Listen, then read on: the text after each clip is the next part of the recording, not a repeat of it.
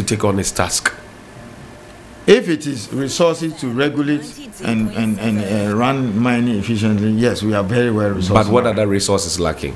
Uh, no, in terms of the men, the mine hmm. engineers as inspectors, the vehicles, the office, and all those, we hmm. have them now. Within the last two years, we've been very well resourced. Okay, they they But hmm. I'm talking about illegal mining. Right. There I- are I- several angles. and- Nuances to it. Yeah, I mean, some we just have to, you know, step up the enforcement mechanism. Okay. Some there are certain hard policy decisions we need to take. Mm. Th- th- these are the hard truth. the m- big mining companies that you mentioned who are doing mining that has been endorsed by the state. You have people in Obuasi, people in Kenyasi, and all those places always up in arms with them. Recently, we had an outside broadcast in Obuasi. The people are not happy with uh, Anglo Gold Ashanti, for example.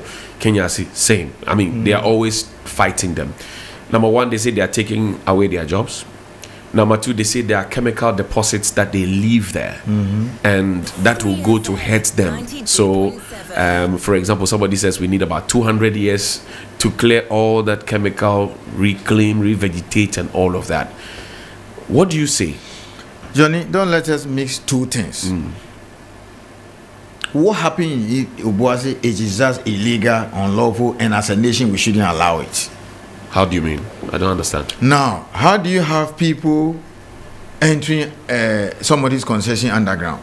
There are several miners, thousands of them working in Obuasi. Obuasi has given about 70% of their grants lawfully to us. They've surrounded them with data. Okay. We're trying to parcel them out. The other blockade areas that we, we want to move the small scale miners to go and work. Mm-hmm. Again, it gets back to the first point I raised. We need to do geological investigation so that in the medium to long term, all these people can get a place to work. Right. But it's raining deep into the night. You knock at my door, Johnny. You stranded. You can't go out. The no vehicle is moving. You said, "Oh, Martin, I need a place to sleep." Mm. Now we don't do that. Those days we do that. Yes. So I get to a place to sleep, maybe with my security mm-hmm. or one of the boys' quarters there and all those things. Then 2 a.m. you walk and come and knock at my door and say, You want to come and sleep where myself and my wife are sleeping. How come that people come in, bring in their billions, set up a mine? If they are regulatory failures and things, that's a different matter. We can talk about that. But I'm talking about small scale miners getting into other people's concession mm.